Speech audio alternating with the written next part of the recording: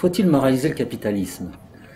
C'est un sujet immense, avec euh, des mots qui sont lourds de sens, et une question, en fait, ou un jugement implicite.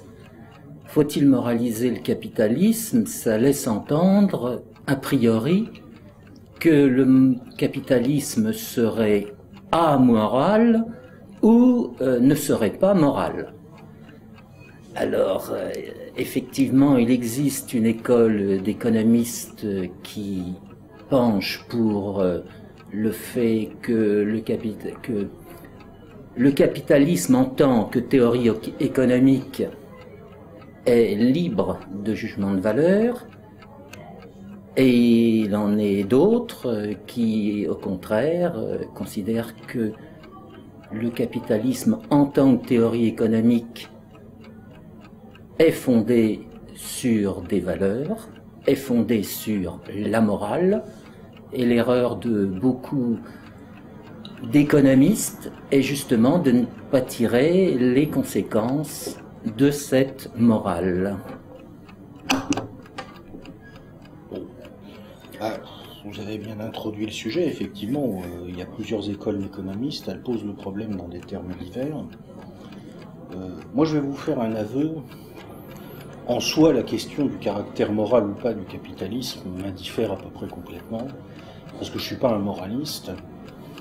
Et euh, ce qui m'embête, si vous voulez, avec le capitalisme occidental contemporain, c'est pas qu'il soit amoral, c'est qu'il fonctionne pas je pense que si on veut situer le problème euh, en termes dynamiques, la question à se poser, c'est est-ce que le capitalisme a besoin d'être moral pour atteindre les objectifs qu'on attend d'un système économique Qu'est-ce qu'on attend d'un système économique? Pas en soi qu'il soit moral. L'économie n'est pas là pour produire de la morale ou pour fabriquer une société vertueuse il ne faut pas qu'elle empêche la société d'être vertueuse, pour d'autres raisons qui échappent à la sphère économique.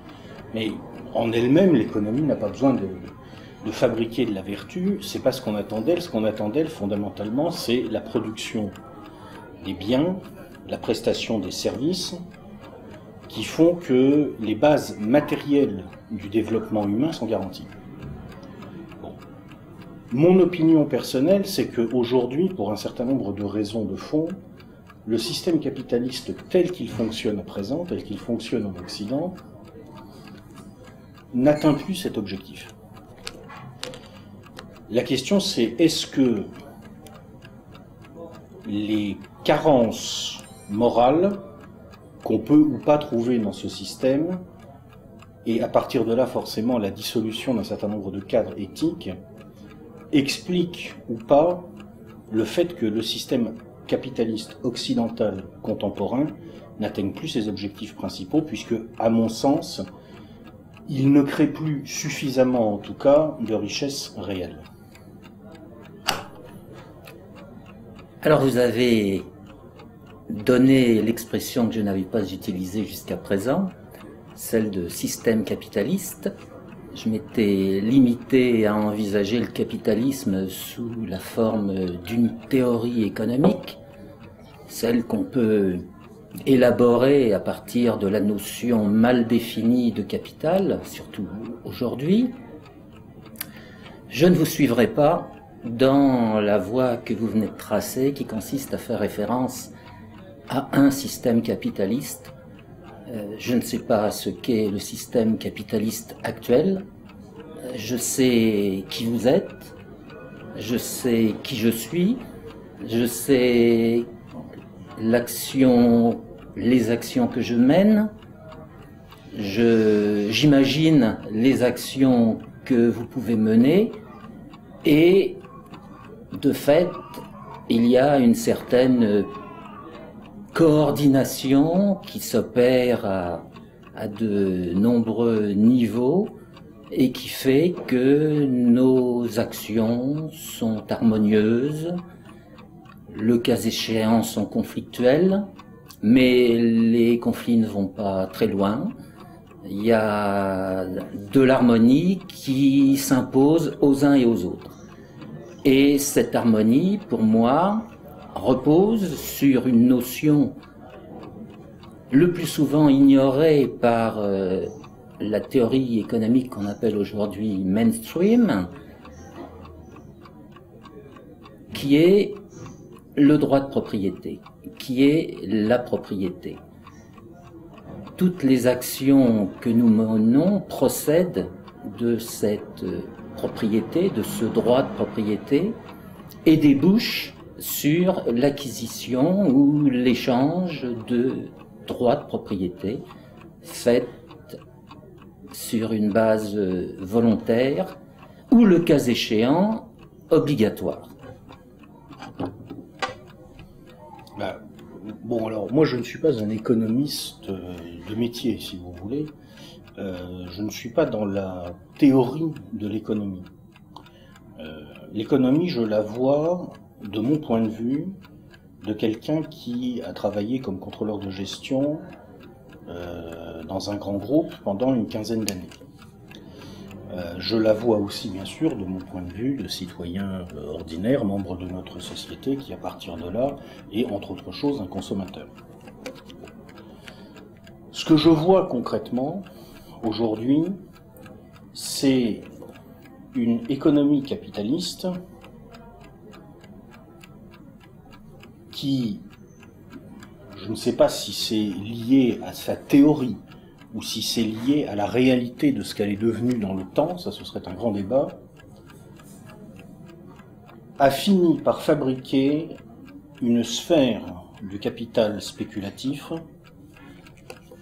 dont les exigences de rendement sont tellement déconnectées des capacités de création de richesses réelles en termes de production de biens, en termes de prestation de services, que paradoxalement, cette énorme bulle de capital spéculatif ne peut plus fonctionner que par vampirisation sur le capital matériel et intellectuel réel. Ça, c'est ce que je vois.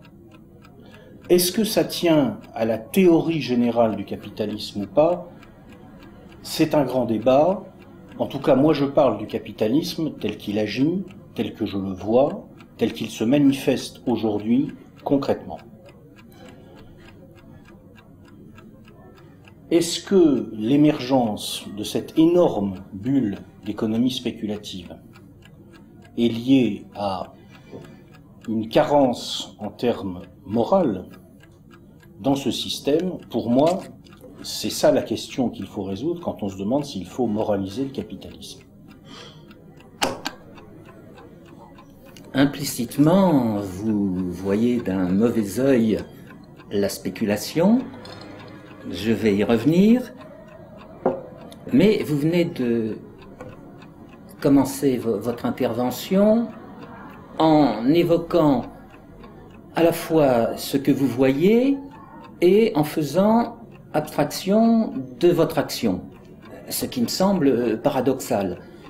Dans ce que j'avais dit juste avant, je faisais intervenir mon action, j'étais, j'étais dans le coup, je ne considérais pas qu'il y avait une économie extérieure à moi-même, bien au contraire, je la considérais comme résultant de mon action, de la vôtre et de la coordination euh, de nos actions. Et je disais cela justement pour répondre à ce que vous aviez dit antérieurement concernant l'économie en tant que système de production de biens euh, non, euh, cette euh, vision abstraite, matérialiste des relations entre individus, je ne la connais pas. En revanche, je, je, ne savais pas que vous aviez exercé la profession de contrôleur de gestion, que je trouve très intéressante, surtout en relation avec euh, l'identification et la comptabilisation des relations qui peuvent exister au sein euh, d'une firme, qu'elle soit petite ou, qu'elle soit grande. Euh, ce contrôle de gestion est justement ce qui devrait aujourd'hui être mis au premier plan et qui est laissé de côté. Euh, vous évoquez le système capitaliste dans lequel on se trouve. Euh, en tant qu'entité théorique, euh, dans un système où la puissance publique, comme c'est le cas de la France, a 56,9% en 2010 de dépenses publiques, euh, on peut s'interroger sur euh, la réalité de cette entité système capitaliste. On est davantage dans une économie dirigiste ou, si vous préférez, un capitalisme d'État qui n'a strictement rien à voir avec euh, le capitalisme de euh, la théorie économique. bien plus, vous êtes passé à la notion de capitalisme spéculatif, alors donnons le mot, vous ne l'avez pas utilisé, mais je le donne, parce qu'il va de pair avec c'est le capitalisme financier. Le capitalisme financier serait aujourd'hui la pire des choses. Il aurait conduit aux difficultés, ou plus exactement à l'ajustement euh, mondial, global qui se déroule aujourd'hui, depuis maintenant 2007, euh, euh, depuis début 2007. malheureusement, il faut se rendre compte que le déclenchement de cette bulle que vous avez évoquée n'a de fait strictement rien à voir avec le fonctionnement logique, avec la coordination logique de relations libres entre les individus. De fait, le problème de départ n'a été rien d'autre que les décisions politiques qui ont été prises par un président des États-Unis qui a voulu faire, comme on dit en France, de la discrimination positive, en anglais de l'affirmative action, qui a consisté à plus ou moins obliger les intermédiaires financiers américains à prêter à des gens complètement insolvables pour qu'ils acquièrent une propriété. De fait, les gens ont suivi euh, l'incitation qui leur était donnée, et euh, étant donné la politique monétaire qui a été suivie au début de la décennie 2000, eh bien, euh, il s'est trouvé que beaucoup n'ont pas pu commencer à rembourser ce qu'ils s'étaient engagés à rembourser, et ça a conduit à ces, à ce qu'on appelle aujourd'hui les affectifs toxiques, qui se sont épanouis au grand jour. Cette bulle financière, effectivement, est une bulle spéculative, entièrement d'accord, mais loin d'être le résultat d'actions individuelles fondées sur des droits de propriété, résulte du fait du prince, en l'espèce du président des États-Unis, Bill Clinton, qui pour euh, euh, améliorer son image de marque auprès euh, de la population, a dit, eh bien, il faut prêter à des gens insolvables. La vraie spéculation n'est pas cette spéculation incitée par la puissance publique, mais c'est la spéculation de vous et moi. Si nous ne spéculions pas, ben, nous ne serions pas là en ce moment en train de parler. La spéculation, ce n'est rien d'autre qu'une projection dans le futur, dès l'instant qu'on admet que le futur existe. C'est le refus de vivre au jour le jour, comme tendrait à nous y condamner euh, l'organisation de la sécurité sociale obligatoire mise en place en France en 1945. Alors, euh, si je fais le tri dans ce que vous venez d'expliquer, euh, la première remarque que j'aurais tendance à faire, c'est que moi j'applique l'adage latin is fecit qui prodeste, celui, celui qui a fait la chose, c'est probablement celui qui en a tiré profit.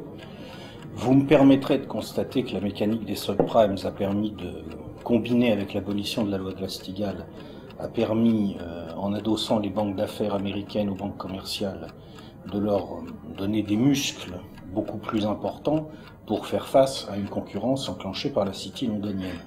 Et sachant que l'abolition de la loi Glass-Steagall est essentiellement l'œuvre de M. Rubin, on peut penser, je ne dis pas que c'est forcément le cas, hein, on peut penser que dans l'histoire, la discrimination positive a surtout servi de prétexte, qu'elle a été un habillage qui arrangeait en quelque sorte la classe politique, mais que les motivations fondamentales tiennent à la concurrence entre les grands prédateurs bancaires internationaux. Bon. Ensuite, euh, concernant la réalité aujourd'hui de l'économie telle qu'elle fonctionne, je trouve assez comique que vous me disiez en gros, la spéculation, c'est vous et moi qui la faisons. Et ça, dans la théorie de l'économie, c'est le cas. Mais dans la réalité des relations aujourd'hui telles qu'elles se nouent entre les acteurs, on n'en est plus du tout là. Prenez par exemple ce qui vient de se passer sur la dette souveraine de certains pays d'Europe du Sud.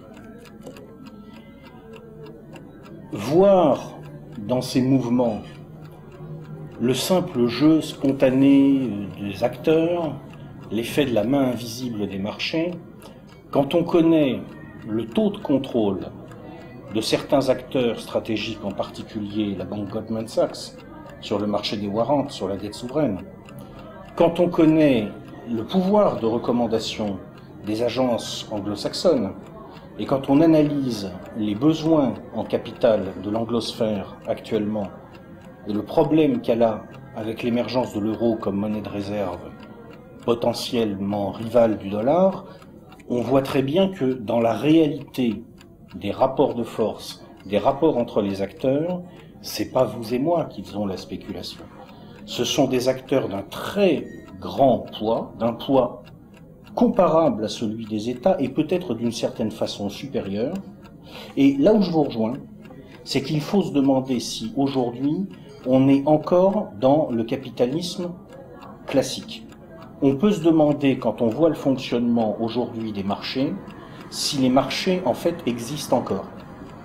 Est-ce que nous ne sommes pas en présence d'un capitalisme qui mute en préservant le pouvoir de certains de ses acteurs les plus centraux vers des solutions de type de plus en plus socialiste, sauf que ce socialisme ne se traduit pas par des expropriations, mais plutôt par l'appropriation de l'État par certaines puissances financières. Sur ce point-là, je suis d'accord avec vous. Mais dans la réalité, si vous voulez, des rapports de force et des jeux économiques aujourd'hui, ce discours appuyé sur la théorie économique libérale pure, du point de vue de quelqu'un qui observe la réalité des jeux d'acteurs et qui mesure en particulier, vous m'avez dit tout à l'heure que je ne ramenais pas ça à ma propre action, mais de quelqu'un qui mesure en particulier l'insignifiance de sa propre action. Quand on est aujourd'hui au contrôle de gestion industrielle d'un grand groupe, ce qu'on voit tous les jours, c'est que la marge qu'on peut dégager sur un, projet de production, un projet qui va créer de la richesse réelle, compte tenu des exigences du capital, cette marge ne peut plus être dégagée de façon saine dans des investissements à long terme. Ça, c'est quelque chose qu'on voit concrètement et c'est là qu'on mesure à quel point, dans la réalité des rapports de force économiques aujourd'hui, un acteur de l'économie réelle, un acteur standard qui ne bénéficie pas d'effets d'échelle majeurs et qui ne bénéficie pas en particulier euh, de la possibilité ouverte aux acteurs du système bancaire de se refinancer euh, dans des conditions nettement préférables, préférables par rapport à celles des, acteurs économiques autres, ce qu'on mesure concrètement, c'est l'impossibilité d'agir, l'impossibilité de peser. Impossibilité d'agir, impossibilité de peser, peut-être euh, jusque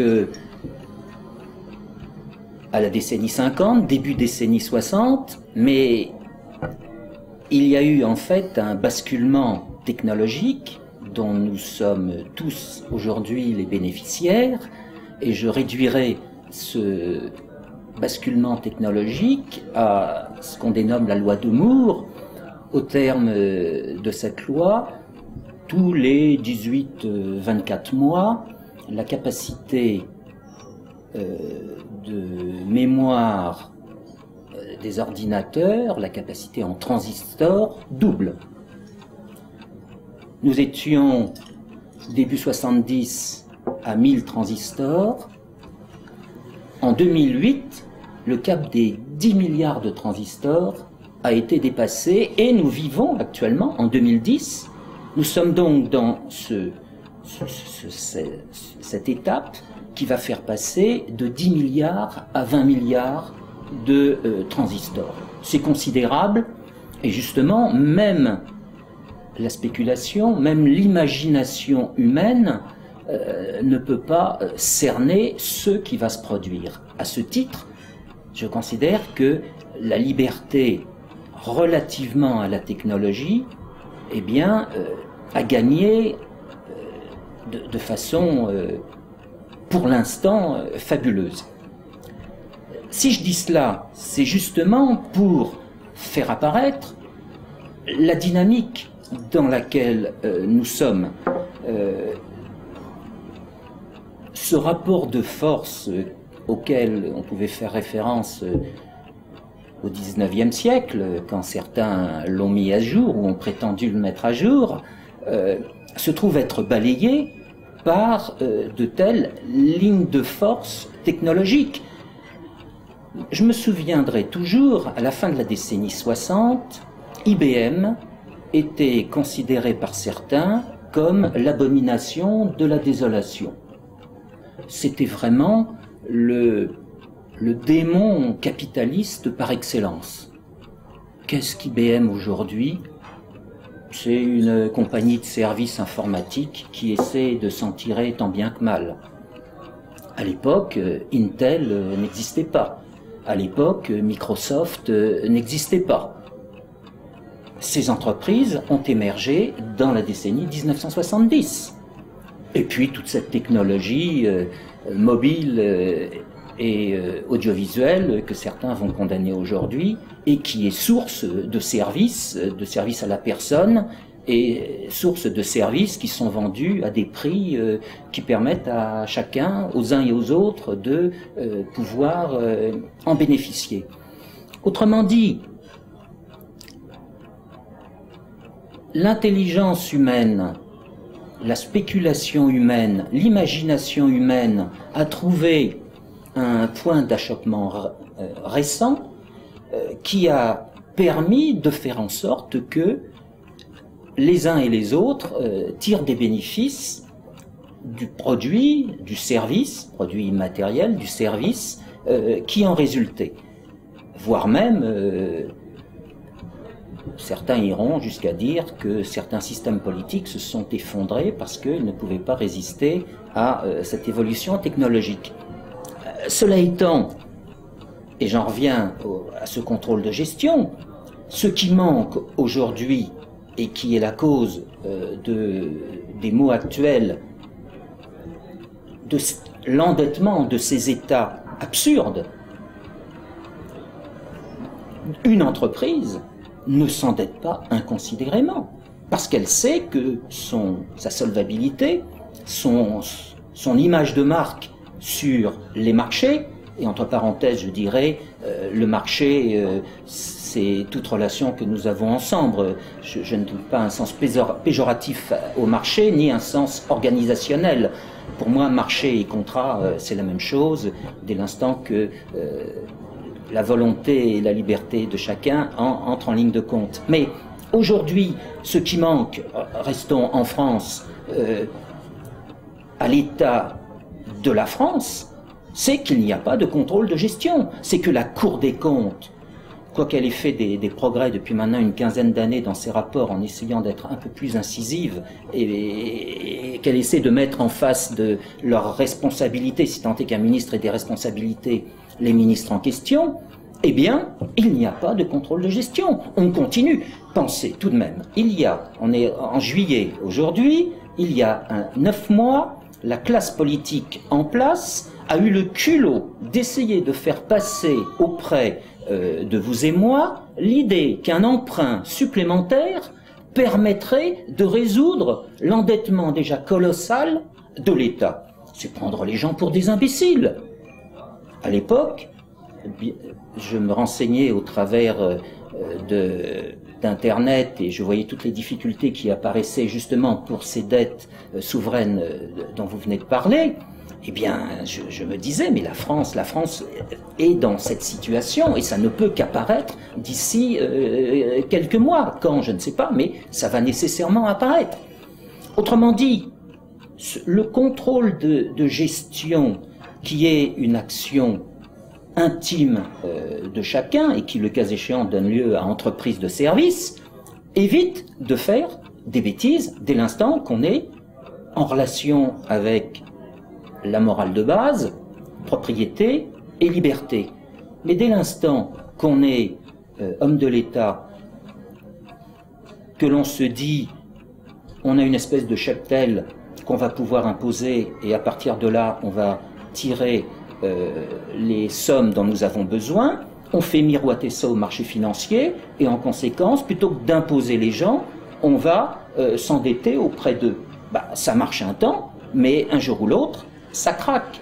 Et aujourd'hui, après cette phase de bulle financière éclatée, bulle, je le maintiens, à l'initiative de cette politique de l'État américain complétée par la politique monétaire qui a été suivie, cet éclatement de la bulle étatique américaine donne lieu aujourd'hui à des bulles euh, moins, flagrantes, mais qui se juxtaposent les unes aux autres, dont euh, les initiateurs sont les hommes de l'État qui s'affranchissent des contrôles de gestion, qui méprisent les contrôles de, les contrôles de gestion, pour la bonne raison que leur démarche ne repose pas sur des droits de propriété, le contrôle de gestion repose sur des droits de propriété, et en conséquence, eh bien, euh, le, les difficultés actuelles ne peuvent que continuer et n'ont strictement rien à voir avec une espèce de de déterminisme qui serait fatal si on limite le sujet au capitalisme, moi je l'étendrai un peu plus, euh, à l'économie de marché. Alors, euh, je ne vais pas répondre point par point à tout ce que vous venez d'expliquer parce que ça nous entraînerait loin et puis il y a beaucoup de choses. Je vais m'arrêter simplement au dernier point. Ça me paraît le plus structurant. Euh, le contrôle de gestion est une technique. Un contrôleur de gestion, même quand il fait du contrôle de gestion stratégique, c'est-à-dire quand il euh, s'assure de l'exécution du plan de marche au niveau stratégique et de l'exécution des, plans correctifs lorsqu'il y a eu un écart, euh, même quand il fait du contrôle de gestion prospectif à travers euh, la mesure de la rentabilité prévisionnelle, il n'applique qu'une technique. C'est une technique et en particulier, ça ne définit pas la stratégie, ça ne définit pas les objectifs un contrôleur de gestion dans n'importe quelle entreprise, ce n'est pas lui qui dit voilà ce que vont être les objectifs. Lui, on lui dit voilà les objectifs, à toi de suivre pour qu'on soit mis au courant avec le maximum de réactivité si jamais manifestement on dérive. C'est tout. Ce dont manquent à mon sens aujourd'hui les États, ce n'est pas de contrôle de gestion. Euh, bon, sans doute on pourrait améliorer les choses. Hein. C'est vrai que euh, il y a une gabegie dans certains secteurs de la dépense publique en France qui est absolument scandaleuse, pendant que d'ailleurs dans d'autres secteurs, c'est la Mais fondamentalement, ce n'est pas de contrôle de gestion aujourd'hui que manquent les classes dirigeantes. C'est de vision stratégique. Elles n'ont plus de vision stratégique autonome. On nous dit que, et c'est plus ou moins ce qui est en filigrane derrière les discours qui nous sont tenus aujourd'hui, le rôle de l'État, en quelque sorte, ce serait d'équilibrer ses comptes, et que son objectif doit être d'équilibrer ses comptes.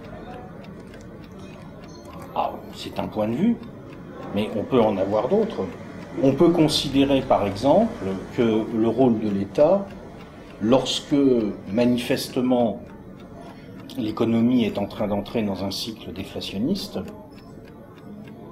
c'est d'euthanasier la rente c'est de relancer l'économie au besoin par la dépense publique. Je dis pas que c'est forcément ce qu'il faut faire. Je dis que c'est une autre possibilité et une autre vision.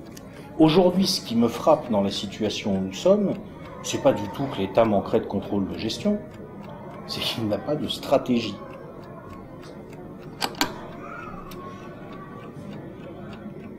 Parler de stratégie, c'est utiliser un synonyme de la spéculation que l'on a évoqué juste avant.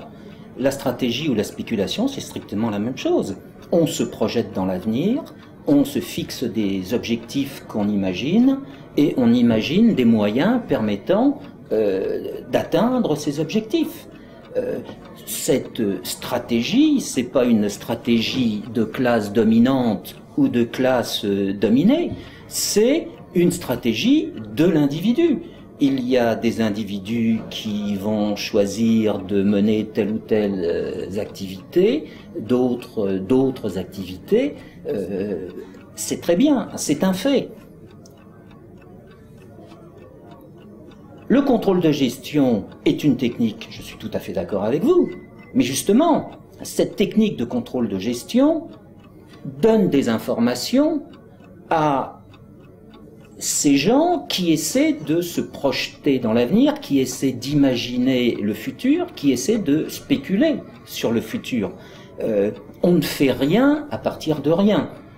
Euh, il n'y a que dans les, euh, le pays d'Alice, celui des merveilles, où on peut envisager qu'on procède à partir de rien.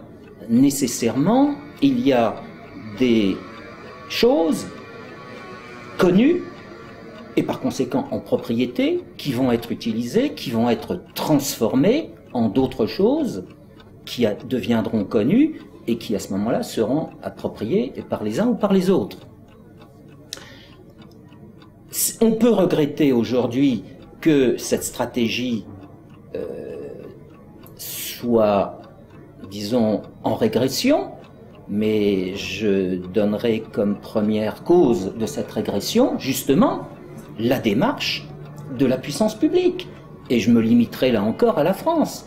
Dans un pays où d'une année sur l'autre, les politiques changent la loi de finances, comment un chef d'entreprise qui essaie de faire fonctionner son entreprise et qui essaie euh, que tout fonctionne bien, à commencer par euh, ne pas licencier et essayer d'embaucher, Comment peut-il faire avec cette incertitude qui est créée par, un, la, loi de finances annuelle, laquelle va être assortie de lois rectificatives, laquelle va être assortie de réglementations qui vont être fixées par euh, les directeurs euh, des administrations de chacun des ministres. C'est impossible.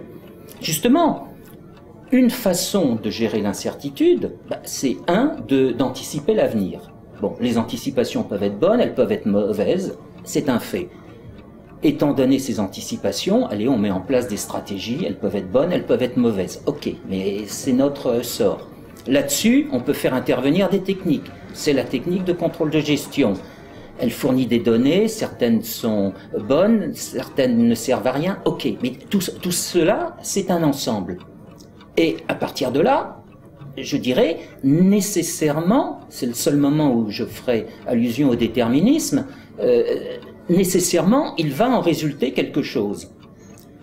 Et on a les exemples des industries florissantes qui sont apparues depuis maintenant une trentaine d'années, et au contraire des industries qui sont en régression, et que la puissance publique essaie par tous les moyens pour de des raisons euh, d'opportunisme, euh, de maintenir. Euh, tout à l'heure j'ai évoqué Intel, Intel, j'ai évoqué Microsoft, je pourrais aussi évoquer Nokia.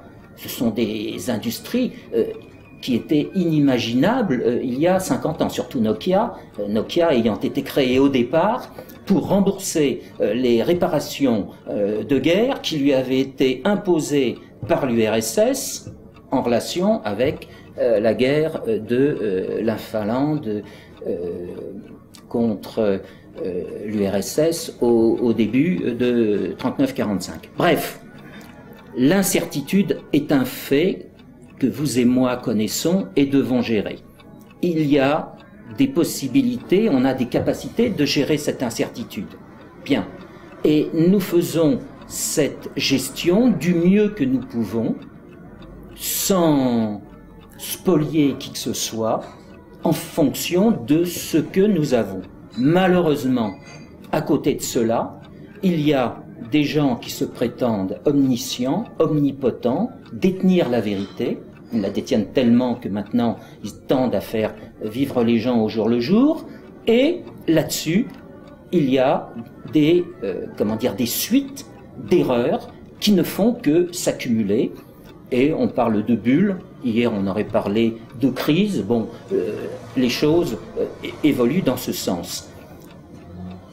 Si j'en reviens, et, je terminerai mon, propos là-dessus, si euh, j'en reviens à la question fondamentale, faut-il moraliser le capitalisme Je dirais, en l'espèce, le capitalisme dont je parle, c'est le capitalisme fondé sur des droits de propriété. Que ces droits de propriété portent sur la chose la plus simple ou portent sur les moyens de production,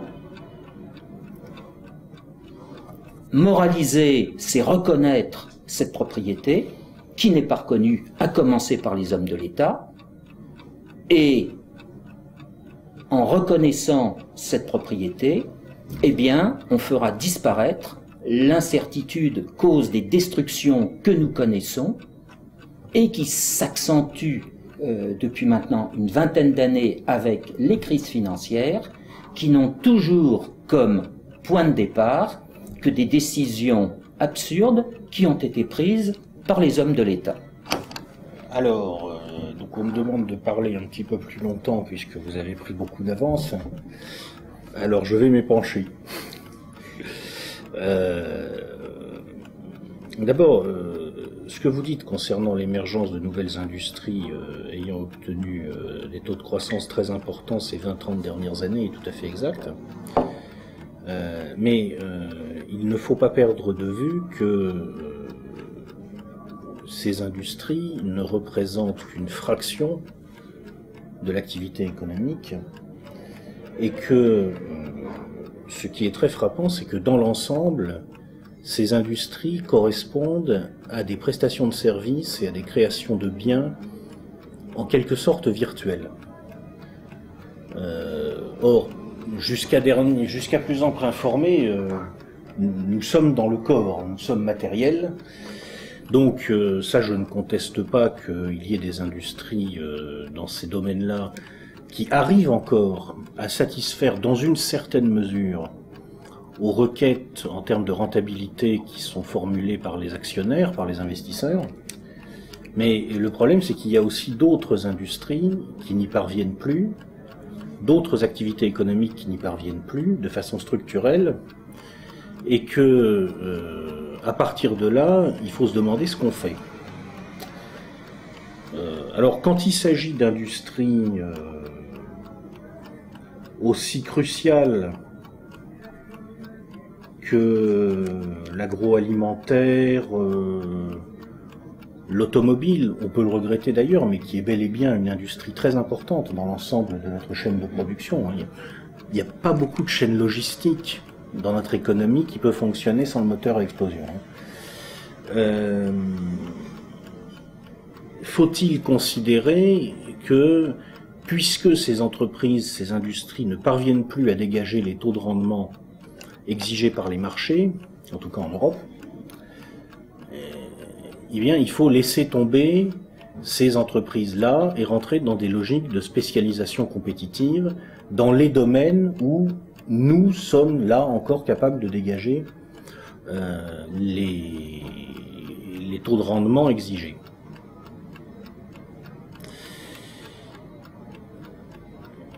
La logique de spécialisation compétitive, la logique d'attractivité du territoire, il y a un pays en Europe qui a joué cette carte-là depuis 20 ans, c'est la Grande-Bretagne. Vous avez l'impression qu'ils vont beaucoup mieux que les Allemands? Moi, j'ai pas l'impression. J'ai plutôt l'impression que c'est les Allemands qui vont mieux. Et entre les deux, il y a la France, qui va à mon avis un peu moins mal que la Grande-Bretagne, sur le plan de l'économie productive en tout cas, mais pas beaucoup moins mal. Alors pourquoi? En Allemagne ça va moins mal Eh bien tout simplement parce que les Allemands sont des pragmatiques. Ils se sont dit bon, il faut qu'on trouve un modèle économique qui nous permette de maintenir notre capacité de production, de continuer à créer de la richesse effective sur le long terme. Alors qu'est-ce qu'ils ont inventé? Ils ont inventé en réalité, quand on analyse l'évolution de leur économie, de devenir un pays émergent. Que c'est bel et bien ce qu'ils ont fait. Ils l'ont fait dans un cadre général qui a été en fait très régulé. Euh, le patronat allemand est très cohérent, il a des organisations qui sont étroitement imbriquées avec celles de l'État, ça ne date pas d'hier. Pour l'instant, bien joué. Ils n'ont pas joué la spécialisation compétitive. Ils n'ont pas dit, ah, puisque notre industrie automobile ne dégage plus les marges nécessaires, on va les laisser tomber, on va tout mettre sur les biotechnologies et les nouvelles technologies, comme les Anglais. Ils ont dit, on a besoin d'une industrie automobile, parce qu'on a besoin de maîtriser nos chaînes logistiques. Donc on va s'organiser pour faire face. Tout ceci pour dire que la logique consistant à dire il faut que les industries à tout prix répondent aux commandes des marchés fragilise beaucoup les économies des pays, même des zones de pays. Et il y a un moment où la puissance publique doit jouer son rôle intelligemment. Par contre, là où vous avez tout à fait raison, à mon avis, c'est de dire qu'en France, c'est très très mal géré. Là, je suis tout à fait d'accord. Euh, nous avons en France, à mon humble avis, la classe dirigeante la plus médiocre d'Europe. C'est catastrophique parce que nous avons une classe dirigeante qui fait semblant devant la population d'avoir une politique soucieuse en quelque sorte des questions sociales, mais qui en même temps fait semblant devant la puissance économique en quelque sorte des marchés, et on sait que la puissance économique des marchés, ce sont quelques centres de décision qui la structurent, ils font semblant devant cette puissance économique d'avoir un plan en quelque sorte de développement économique réel à long terme. Donc on est dans le faire semblant des deux côtés. On fait semblant devant le peuple d'être, entre guillemets, sociaux, et on fait semblant devant les marchés d'être, entre guillemets, de, rechercher la compétitivité. Je suis absolument d'accord, c'est du grand n'importe quoi. Bon, cela dit, aujourd'hui, tous les pays occidentaux sont en difficulté, peut-être à l'exception de l'Allemagne, qui a moins de difficultés que les autres. Les États-Unis ont un déficit budgétaire monstrueux. La Grande-Bretagne, il faut bien le dire, est en route vers euh, un rattachement un jour à la catégorie des pigs. Ça sera le premier grand pic du Nord en quelque sorte, hein, à côté de l'Irlande. Ce ne sont pas des pays qui sont caractérisés par un poids de l'État extraordinaire. Donc on voit bien que même si sans doute la façon déplorable dont notre État est géré joue un rôle dans notre crise, il y a d'autres raisons d'autres raisons plus profondes. Alors maintenant, moi, je vais vous donner mon analyse. C'est là qu'on va reboucler sur la question de faut-il moraliser le capitalisme? Je pense que euh, nous avons aujourd'hui une sphère spéculative, j'insiste, et je ne suis pas d'accord du tout avec vous pour dire que spéculation et stratégie, c'est pareil. La spéculation, ça consiste à vouloir poursuivre un objectif qui est dégager du profit. Le spéculateur a comme objectif le profit. Donc c'est une stratégie, mais ce n'est pas toutes les stratégies possibles. Il y a d'autres stratégies possibles, et en particulier, il y a des stratégies tournées vers le développement de l'économie physique de production. Alors bien entendu, ça ne veut pas dire qu'on peut faire abstraction de la sphère financière. Ça ne veut pas dire qu'on peut faire comme si, en quelque sorte, la question du profit ne se posait pas. Mais ça veut dire qu'on n'en fait pas l'objectif unique. C'est la stratégie que les Allemands ont suivie. Depuis un certain nombre de décennies, l'Allemagne se torture, il faut bien le dire, elle s'est fait très mal socialement, pour pouvoir maintenir ses capacités de production, pour pouvoir maintenir son économie physique de production dans un environnement financier agressif. Donc, on peut imaginer des stratégies extérieures à la sphère spéculative. Et à mon avis, aujourd'hui, et c'est là qu'on va reboucler sur la question de la morale, on a une grande partie des processus de décision économique qui ont été entièrement captés par les financiers. Alors c'est curieux d'entendre quelqu'un qui fait du contrôle de gestion dire ça, mais enfin c'est mon opinion. On nous a donné beaucoup trop de pouvoir à nous, les financiers. Et on en a enlevé beaucoup trop aux ingénieurs. On en a enlevé beaucoup trop aux connaisseurs du marché. D'où ça vient ça? Ben, Ça vient en réalité, si on analyse sur le fond, du fait qu'il y a une telle exigence de rendement, et là on pourrait remonter, si on voulait, à la question de l'accumulation de cette énorme euh, capital sans contrepartie réelle qui a été fabriqué par un ensemble de, dérives du système très compliquées. J'en citerai trois principalement, deux auxquels vous pensez certainement et une qui va un petit peu plus vous surprendre d'une part des politiques monétaires laxistes, absurdes. Bon, il y a quand même eu plusieurs années où le taux d'intérêt réel aux États-Unis était inférieur à l'inflation réelle de plusieurs points, donc on marche complètement sur la tête, c'est du délire, on est bien d'accord. Deuxième raison, euh, bah, tout simplement euh, la loi des rendements dégressifs et le fait que à partir du moment où le taux de croissance depuis le début des années 70, depuis la fin des Trente Glorieuses, disons, est retombé à un niveau traditionnel, dès lors qu'on maintient, qu'on revient en fait au taux de répartition de la plus-value entre capital et travail au niveau de ce qu'il était dans les années 60, hein, parce que si on prend l'historique, à la fin des années 70, fin des Trente Glorieuses, les gouvernements ont essayé de compenser pour pouvoir continuer à développer le marché en rabaissant, en rabotant la part du capital. Puis à la fin des années 70, début des années 80, on est revenu à la répartition entre capital et travail dans la plus-value qui prévalait avant les années 70. Sauf que comme à ce moment-là, il n'y avait plus de croissance, il n'y avait, pas non plus de croissance des marchés. C'est la deuxième raison du fait qu'à partir de là, vous avez une accumulation de capital financier, en quelque sorte, qui ne se trouve plus de déboucher dans l'économie réelle. Et puis il y a une troisième raison à laquelle on ne pense pas beaucoup en général, mais il, faut, il serait temps de s'y intéresser.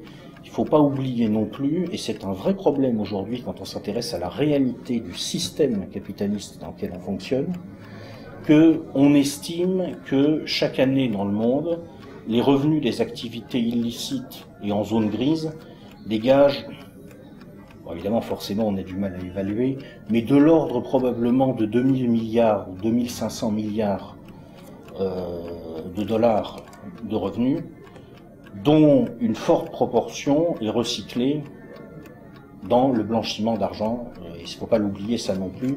C'est un bien important dans le système, en particulier via les paradis fiscaux. Donc, comme on a cette énorme masse de capital qu'il faut rémunérer, qui doit se rémunérer, les dirigeants à tous les niveaux, et là je vais être relativement libéral, effectivement je pense qu'il n'y a pas de volonté délibérée, que c'est le jeu des acteurs confrontés à cette situation qui a engendré ça, ont perdu de vue d'une certaine façon que le bien en matière économie, et là on va reboucler sur les catégories morales, c'est la création de richesses effectives. Le bien, c'est devenu la création de valeur comptable. Or, c'est pas la même chose.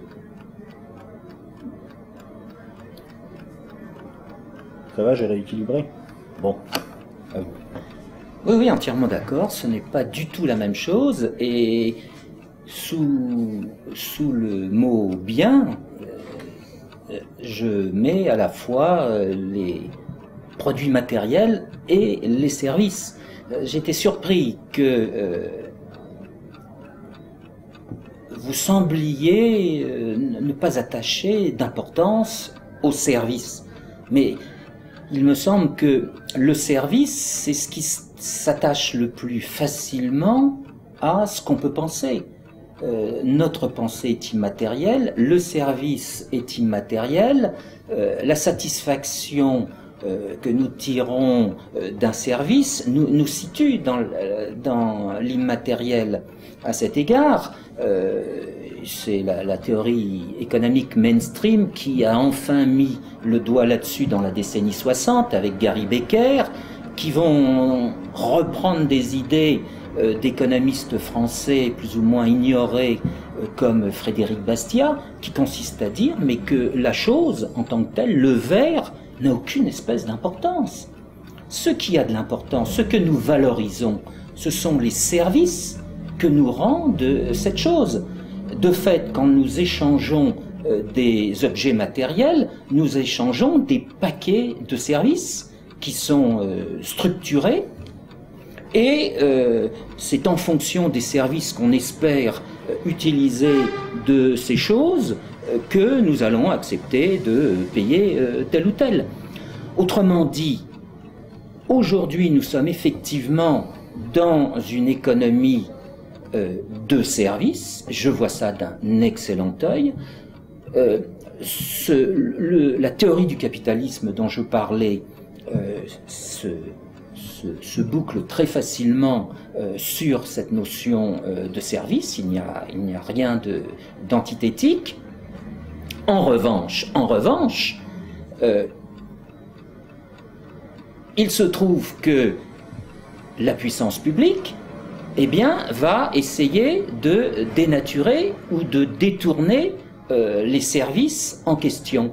Et certaines fois, il est plus facile de tourner en dérision un service ou de, l'interdire que euh, de, d'empêcher un échange euh, de choses.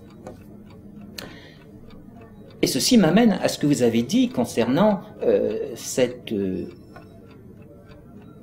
comment dire, ce passage de l'ingénieur au financier. J'évoquais les, nouvelles industries qui sont apparues dans la décennie 70 en relation avec l'informatique. Bien. Mais on peut dire que 20 ans auparavant, il y a toute une recherche dans le domaine économique qui s'est développée, qui est la recherche financière. Et les premiers économistes qui l'ont développée ont été récompensés par euh, le Nobel quelques décennies plus tard. Et de fait, euh, tous ces travaux sur le rendement des actifs sur la prise en considération du risque de ces actifs procède de ces théories. Et de fait, euh, ces théories ont donné lieu à la mise en œuvre de techniques. Et effectivement, euh, bon, le contrôle de gestion, c'est une technique, mais vous avez aussi des techniques de gestion de ces actifs. Et euh, ces techniques, bah, comme toute technique, présentent des, des avantages et des inconvénients et certaines fois présentent de, gros, comment dire, de gros, de grosses impasses. Et en particulier, en matière financière, on vient de s'en rendre compte ces dernières années, la grande impasse a été que les financiers ont utilisé aveuglément des modèles de gestion des actifs financiers. Et moi, je vous dirais, bon, je, fais un cours à Dauphine je faisais un cours à Dauphine euh, d'économie euh, financière, je mettais en garde les étudiants, je leur montrais justement comment on était arrivé à euh, ces techniques de, gestion des actifs, financiers ou non financiers, ça n'a aucune espèce d'importance. Et je leur disais, mais attention, il faut savoir pourquoi vous allez utiliser tel modèle mathématique plutôt que tel autre. Et de fait, on se rend compte aujourd'hui que les hypothèses mathématiques qui ont conduit ceux que vous appelez les, grandes puissances financières, à des énormités.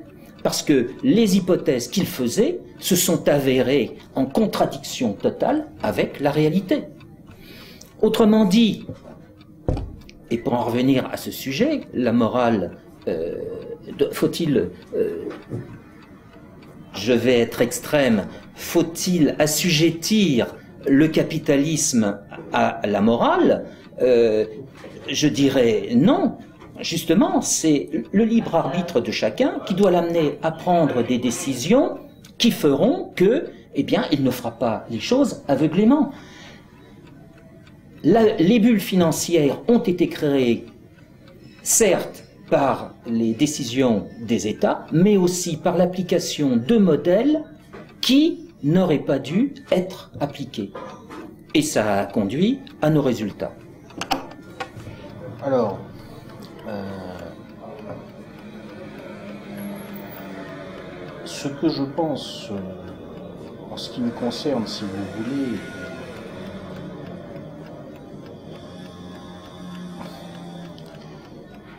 je pense que la notion de libre arbitre est au cœur du sujet. Là, on va sortir un petit peu du cadre économique, on va parler de morale. Euh, si ces modèles financiers dont vous parlez ont été appliqués,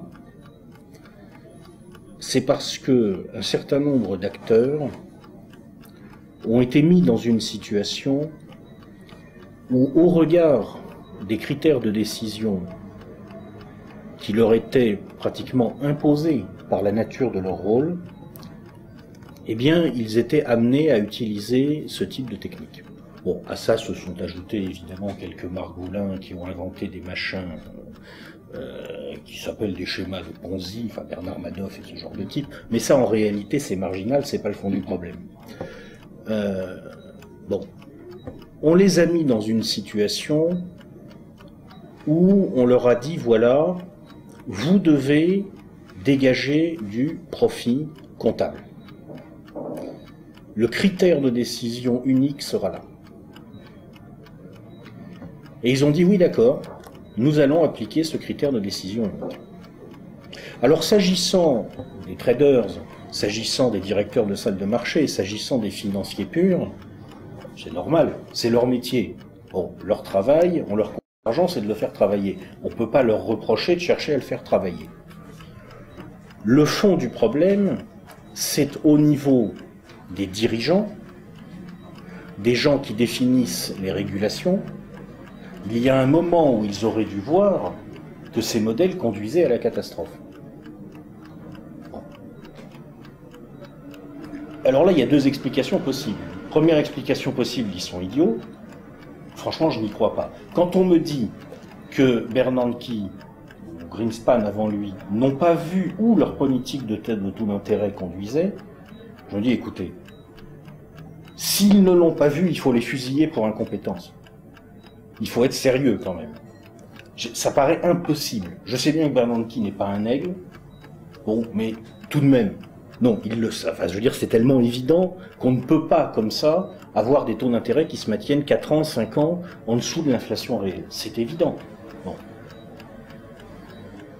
Donc ils l'ont vu. Donc ils l'ont fait. Donc à un certain moment, c'est délibéré. Comment est-ce que ça a été possible?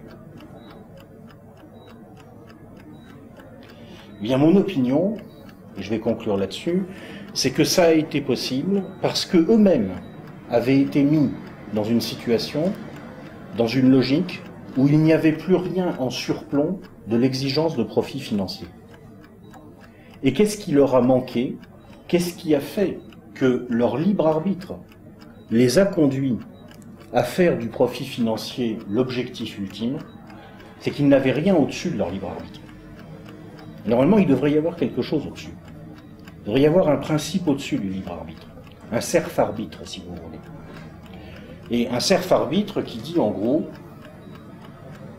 sans aller jusqu'à parler de moraliser le capitalisme ou de le rendre vertueux ou de je ne sais quelle hypothèse puritaine qui n'a jamais existé que dans la théorie, qui consiste à dire en gros, quand mon libre arbitre me fait faire des choses qui vont manifestement à l'encontre du bon sens, qui vont manifestement à l'encontre de la logique élémentaire au regard des objectifs que mon humanité m'impose en quelque sorte à l'égard de l'humanité en général, eh bien, je dis, bon, stop, ça ne va plus. Et ce moment où il y a ce principe au-dessus, ce serf arbitre en quelque sorte, cet arbitre qui est serf de quelque chose au-dessus, qui fait que l'acteur, dans son libre arbitre, dit stop, j'arrête, il y a un problème, ce moment, ils n'ont pas eu, ils ont continué.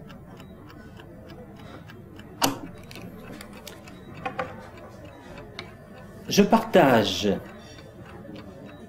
à 50% ce que vous avez dit sur le couple Greenspan-Bernanke. Il faut considérer que Greenspan, à la suite de la destruction euh, du Wall Street euh, Center en 2001, a essayé de faire en sorte que, eh les relations monétaires entre je dirais, tous les pays du monde, c'est-à-dire entre tous les êtres humains des différents pays du monde, puissent se faire. Et dans cette perspective, il a pris très rapidement la décision de diminuer les taux d'intérêt à court terme et de consentir des accords de, swap entre euh, les banques centrales. De fait, euh, cette démarche a disons, endiguer le, cette destruction des, relations qui aurait dû être consécutive à la destruction euh, du Wall Street euh, Center. Bien. Bernanke n'a jamais été dans ces conditions. Le seul reproche qu'on peut faire à Greenspan, c'est d'avoir, de ne pas avoir écouté ce qui lui était dit par les marchés financiers, contrairement à son habitude, contrairement à ce qu'il avait fait depuis 1987, quand ces marchés lui ont dit en fin 2002, début 2003, qu'il fallait réaugmenter les taux d'intérêt à court terme et je dirais grosso modo les remettre à niveau des taux d'intérêt à long terme. C'est ça qui a été, euh, disons, la, l'allumage de la mèche de euh, cette crise des subprimes. Greenspan est fondamentalement tellement quelqu'un de rationnel. C'était un adepte d'une philosophe russe émigrée aux États-Unis, qu'on ne connaît pas en France, bien qu'elle soit un best-seller aux États-Unis, qui s'appelle Ayn Rand. Bien, je ferme la parenthèse.